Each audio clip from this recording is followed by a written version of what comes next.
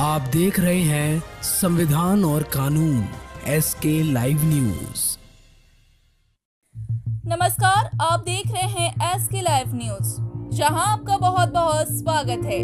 आज की एक बड़ी खबर उठकर सामने आ रही है कोतवाली से। कोतवाली पुलिस ने तार चोरी व विद्युत मोटर चोरी में दर्ज मुकदमों का अनावरण करते हुए चार अभियुक्तों को किया गिरफ़्तार।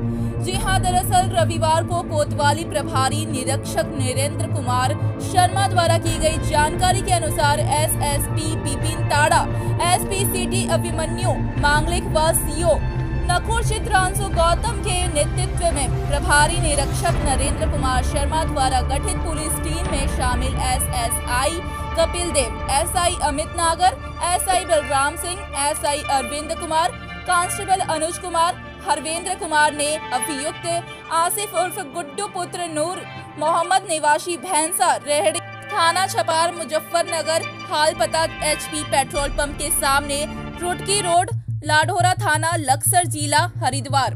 मोहम्मद इकबाल पुत्र कासिम व सतार पुत्र कासिम निवासी ग्राम, मगरूबपुर थाना जिला, हरिद्वार। शाह नदीम पुत्र रहीस अहमद निवासी एफ़ 307 नाला रोड, खजूरी खास थाना, खजूरी दिल्ली को चोरी हुए। माल तार एवं तार काटने के उपकरण एवं घटना में प्रयोग किए गए वाहन के साथ गिरफ़्तार किया है। पुलिस ने पकड़े गए सभी अभियुक्तों को आवश्यक कार्रवाई करने के बाद न्यायालय में पेश कर दिया है। जी हाँ ये थी सहारनपुर से वैभव गुप्ता की खास रिपोर्ट। खबरों के लेटेस्ट अपडेट के लिए इसी तरह हमारे साथ जुड़े रहें और इस वीडियो को ज़्यादा से ज़्यादा शेयर करें।